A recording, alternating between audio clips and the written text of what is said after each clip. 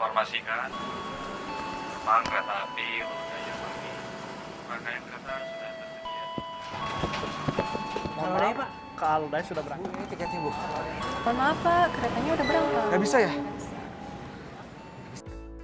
Dengan demikian, penumpang tak perlu repot-repot menunjukkan berbagai dokumen seperti boarding pass fisik, e-boarding pass, KTP, ataupun dokumen vaksinasi.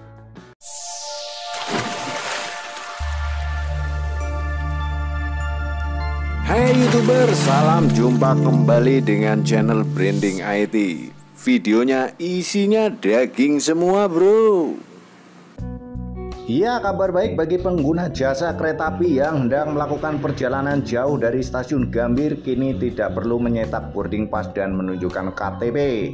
Pasalnya PT Kereta Api Indonesia Daerah Operasi 1 Jakarta telah menerapkan teknologi face recognition boarding gate di stasiun Gambir yang dapat dimanfaatkan mulai Rabu kemarin 17 Mei 2023.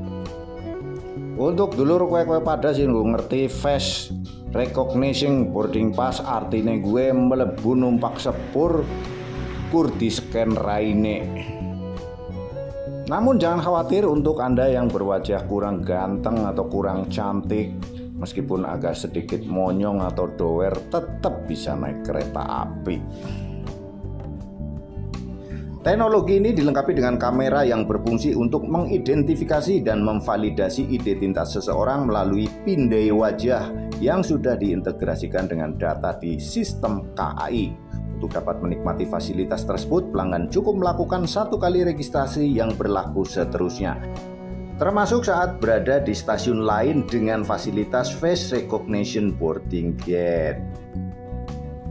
Di stasiun Gambir, proses registrasi dapat dilakukan di mesin check-in center atau CIC atau melalui petugas layanan khusus yang berada di area hall selatan.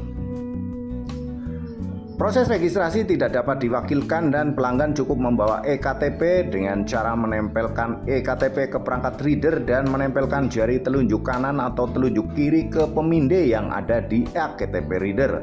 Setelah itu, pelanggan dapat langsung menuju ke face recognition boarding gate jika boarding sudah dapat dilakukan. Pelanggan hanya perlu mengarahkan wajah ke mesin pemindai atau scanner apabila data tiket identitas dan syarat lain sudah selesai, maka gate akan otomatis terbuka. Selain di stasiun Gambir, fasilitas ini sudah terpasang di stasiun Bandung, Yogyakarta, Surabaya Gubeng, Malang, dan Solo Balapan. Ya, semoga juga dipasang di Purwokerto, Kroya, Cilacap, Bombong, Kebumen, Sidoarjo, eh Sidoarjo, Kutoarjo, dan Purworejo.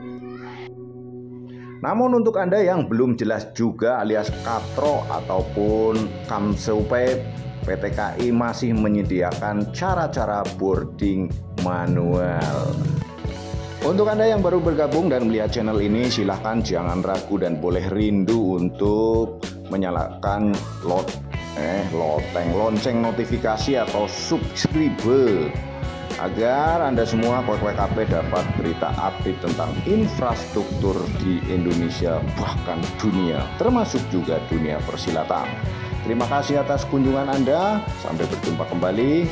Semoga kita semua selalu dalam keadaan sehat, sukses, waras, berigas, dan selalu gue beras. Amin amin ya robbal alamin.